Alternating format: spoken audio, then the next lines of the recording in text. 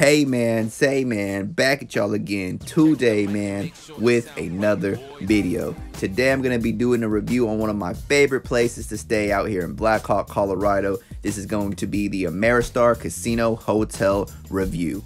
I highly recommend anybody passing through the area to come check out this casino, but without further ado, let's go ahead and get straight into this review.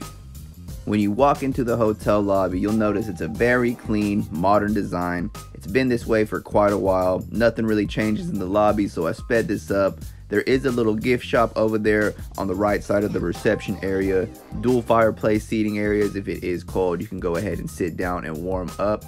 But we already checked in, so we're just gonna head back up to the room and show y'all what it looks like. The elevators, when you first walk into the hotel lobby, are going to be on the right hand side. We're going to be staying on the 29th floor this time, so you're going to have to slide your key card. Thankfully, that person already did it for us, so I didn't have to put the camera down. These elevators are pretty quick, nothing to be scared of, but it gets you where you need to go. Last time I was here, we stayed on the 31st floor, and this time we'll be on the 29th. The room I'm staying in this time is going to be a deluxe king suite. These hallways are pretty long, but luckily my room was right off the elevator. When you check in, they're going to ask you if you would like a mountain or a city view. I went ahead and went with the mountain view, and this room only cost me $95 a night. Here's what it looks like. Got the deluxe king suite. Very, very big bed. Love the bed. Got a nice little chaise lounger. Of course, we do have a table. Here's the current view. Snowing pretty good out there. Um, that guy's been stuck since yesterday. But this is what we're looking like. Okay, 400 square foot room. Would have been a little bigger if I got the double queen, but you know, we're just a king. Here is our closet. Good sized closet. Put just about all you need in there. The light over the closet door comes on and shuts off when you shut the door. That's a pretty cool feature. On into the bathroom. Let's see what we're working with. Very, very nice. So we have our tub, granite countertop, and granite throughout. There is our walk-in shower. Very nice. In addition to that, we have our toilet room. Beautiful room. Let's go check out the pool. Alright guys, it's going to be a short ride from the 29th floor on up to the pool, which will be on the 34th floor, the roof of the Ameristar Casino. Let's go ahead and get on up there. I'm sure you noticed in my last clip when I showed the view from the room, stuff was already blanketed in snow. So yes, I did take these clips the next day after I checked in because hey man, what can I say? The first day I checked in, I went straight down to the casino and got to work.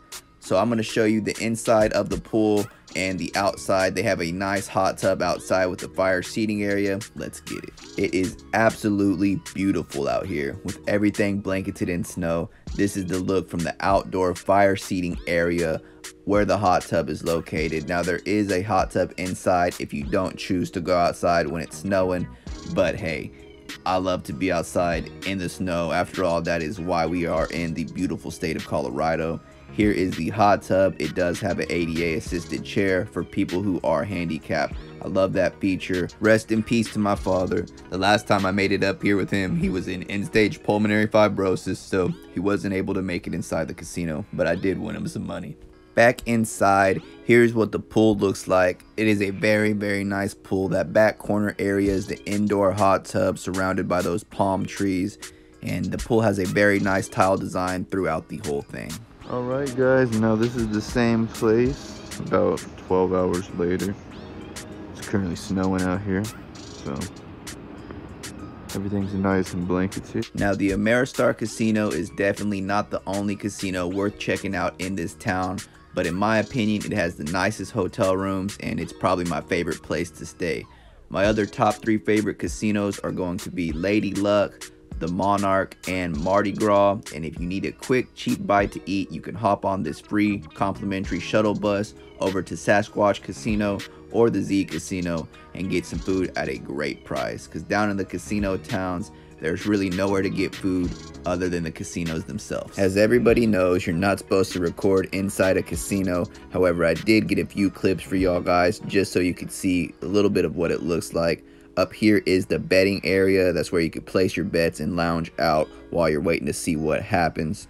Before I wrap up this video, I just wanted to show y'all guys the gym and leave you with some of my final thoughts. The Ameristar Casino in Black Hawk, Colorado has the nicest hotel rooms in the area to stay in. I highly recommend you book your stay here if you're going to visit Black Hawk, Colorado. The food options can be kind of pricey here, but I highly recommend the tacos if you do get hungry and don't feel like leaving the casino.